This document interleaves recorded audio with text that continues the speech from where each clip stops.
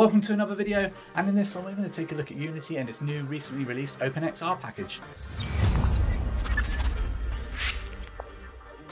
Let's dive right in. Right, so the first thing we're going to need to take note of is the Unity version that we're using.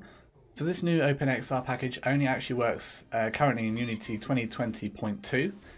Um, so if you haven't, if you're not using that version, then you're going to need to. So if you go to your hub and then you can install that, and then when you've got Unity 2020.2 installed, what we're going to do is we're going to set up uh, Unity so it's working with uh, XR. So um, let's go to our file, build settings, and then um, we're going to go to player settings, bring those up. And then here on the right, or wherever your little project setting window pops up, go to XR plugin management and install XR plugin management.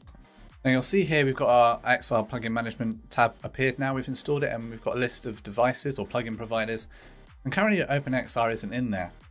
We actually have to install another package, uh, and to do that, we're going to use the package manager. So go to Window, Package Manager, and we're going to need to do a couple of things. By default, uh, our package manager isn't showing us the preview packages. But to turn that on, we're going to click on the cog, go to Advanced Project Settings, uh, and then here on the side, you're going to get um, this window up here uh, and we're going to click Enable Preview Packages. We'll go ahead and click that box. And we'll say, I understand that all these preview packages are going to kill my project with bugs. So we click on the I understand button. And then when we go to uh, Unity Registry, you'll notice here we now can see all our preview packages. Uh, and to find our OpenXR, we're going to type OpenXR in the search box. Uh, and it, you can see it's popped up here. OpenXR plugin Currently the version is 0.1.2, preview 2. And you'll notice here we've got the uh, description. It's a free standard developed by Khronos that aims to simplify AR and VR development. Nice. And we're going to go ahead and install that. Then before we close this package manager down, let's install our XR Interaction Toolkit.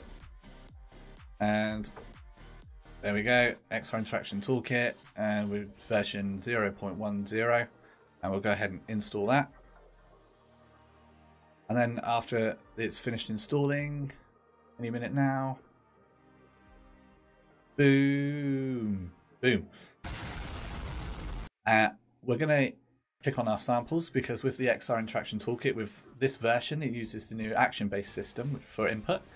So we're going to input some default input actions that assist us in our setup. So we're going to click import uh, and we can close this package manager window down now and you can see it's dropped in XR Interaction Toolkit and uh, default input actions there. But most excitingly, that's a word, um, under XR plugin management, we now see our OpenXR. So we can go ahead and check this box. And you'll notice it puts this um, nasty exclamation mark next to the OpenXR preview.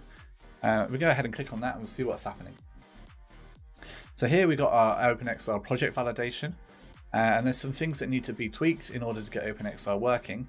Um, and it, again, we've got this cool magic fix all button, which I don't know why it just doesn't do that when you import the project, just fix it. Um, who knows? But we'll go ahead and click the fix all button.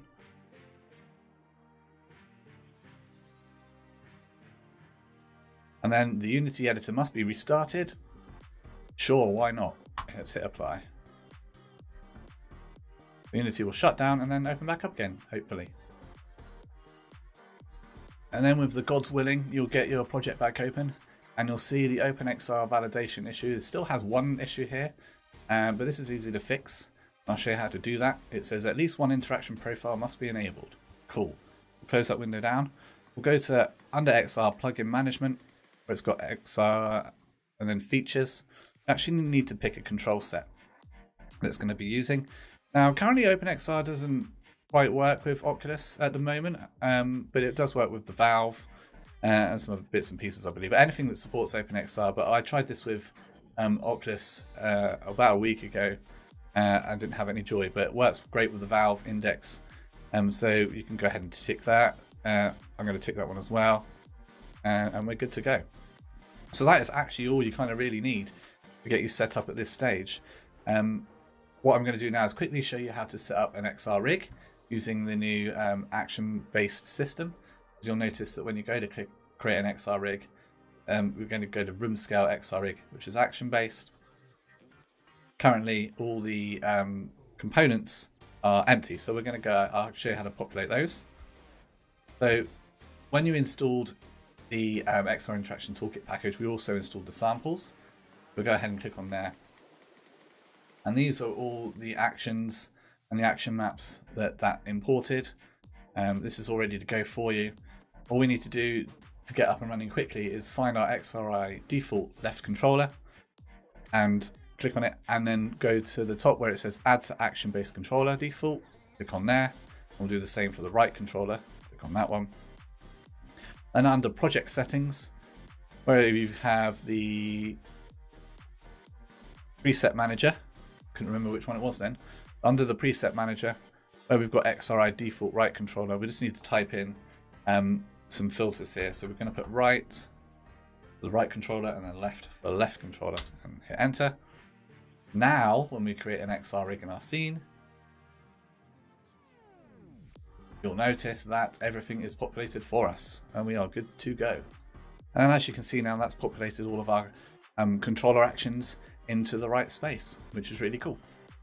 And we're now geared up to use our action-based control system and the new input method. So now OpenXR would work. If you had a, a Vive, then you could go ahead and hit play in happy days.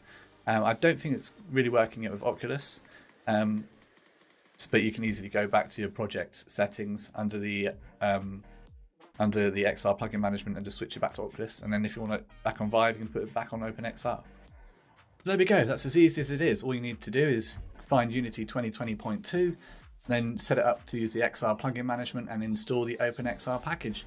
And this is going to allow you to use your Vive Index and other Vive headsets, um, and along with any other headset that supports OpenXR.